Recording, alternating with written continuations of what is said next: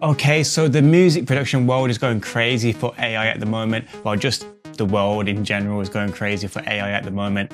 Splice itself has just dropped a piece of AI on its website. So in today's video, we're gonna be checking that out. And whilst we do this, I just want you guys to bear in mind, is this a good thing for music production or is it a bad thing for music production? And I want you to let me know in the comment section below after the video. So here we are on their website, AI powered Discovery Plus the world's best sample library. Pick a style and Splice AI will show you millions of musical combinations that no one has ever heard before.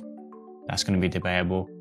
Featuring sounds made by the world's top producers. So here we are, we're just going to go through this whole system and see what comes out the other side. So it's asking us to pick a style. Let's go for hip hop.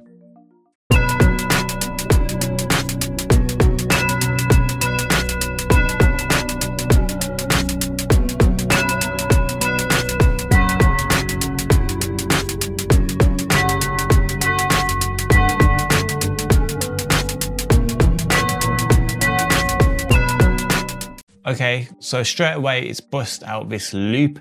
This loop is from four different packs, I suppose. Um, so it's not all from the same um, company or producer. It is from four different packs. And already I'm not really sure how I feel about this. It's taken out the old find and discovery part of finding nice loops that go together if you do use loops. And on the other side of that conversation, this is just a loop that other people might not have combined it together yet. So It'll make it a little bit more unique for you, but it won't be totally unique because you don't know how many times Splice is going to suggest this to other people. Let's just refresh. And you can just click refresh new stack every time you want a different loop, I suppose.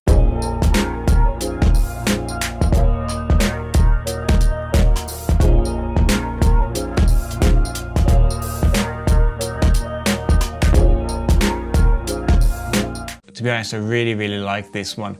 Um, if you don't like some of the sounds in it, um, you can always refresh your individual sounds here. But if you are happy with it, like I'm happy with this one, you can click save. Oh, sorry, I forgot to mention as well, you can add other instruments as well down here.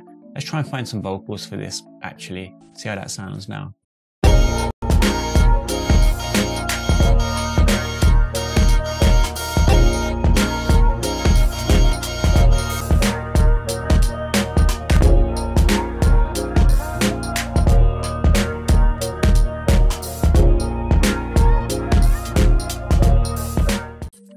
Sounding really good to be fair. Let's go save this. So now we're in the stacks section. I'm guessing that's what's that's called a stack, what we just created. Here it is here, our loop. I'm not sure if these will be made public or not, um, so other people can download our stacks as well. That would be something um, interesting to find out because if you are going to try and make unique sounding stacks, um, it would be good if no one else has access to them as well. And then you can go to export and export the stems or what I like about it is that you can export to Ableton Live session is that's what I use. It's gonna take five credits, but like 5,404 credits because I don't really use Splice anymore, but I refuse to let all those credits go to waste. So it's a bit of a sticky situation really where I can't close my account, but I don't really use it either. So Cool. So it's come as an Ableton file. Okay, so when you open it up,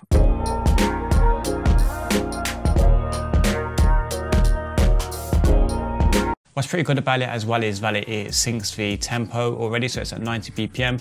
And the loop, as you heard it, the individual sounds of the loop all have different levels as well. So it's not all the same leveling. It's exactly how you would have heard it in Splice, as you can see down here. Something else I forgot to mention as well is that all of this loop is not necessarily all in the same key. It's not like they found loads of sounds that are all in the same key and put them together. They've actually transposed some of them. As you can see that some of them are A minor, some of them are C sharp minor, um, which is crazy and it reflects that here. C minor um, is three semitones, I've changed it. And when you export it, it exports it with those changes as well, which is pretty cool to be fair. Let's try a different loop. Oh, that says hip hop as well, not even hip hop. Yeah, straight out of the gate, I'd want more genres here. Okay, so it's populated me something that could be considered as trap maybe.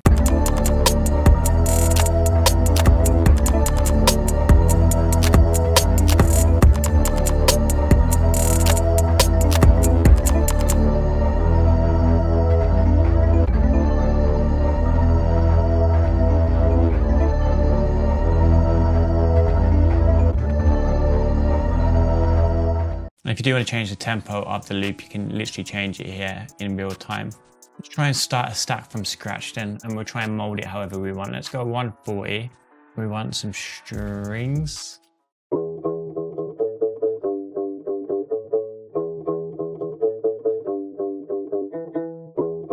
Yeah, that could sound good. Let's go with some bass.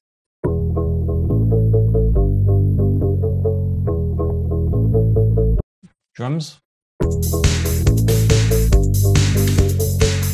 Yeah, let's skip drums for now because that's not sounding how I want. Vocals. To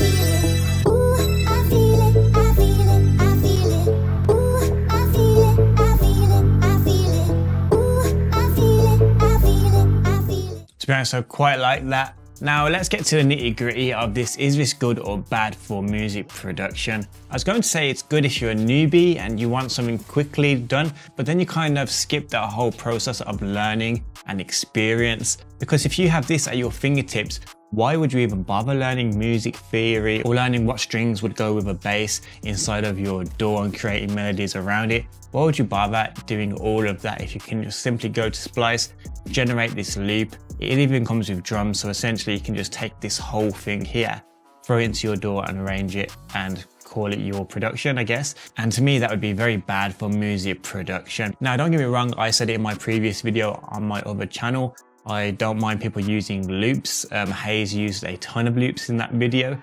But as long as you have some of your own input in there as well, it would be awesome if Splice had a feature where you could upload your own loop um, that you made yourself. And then maybe you can kind of arrange these other sounds around your own kind of uh, melodies as well. That'd be a awesome feature just so you can add your own creativity into the whole thing. But but it's kind of becoming a reality now where literally a couple of clicks of a button and your production is done. Also, what's stopping singers and rappers, people that don't normally make their own productions from taking this on board? Why would they split their royalties with music producers when they can pretty much make their own productions from nothing. This could be awesome or it could be absolutely dreadful for music producers, but that's where you guys come in. I want you to let me know what you think of this in the comment sections below. Please let me know in the comment section below. I'd love to know what you guys think of this. If you are looking for more plugin or music production videos, I'll leave one here and one here.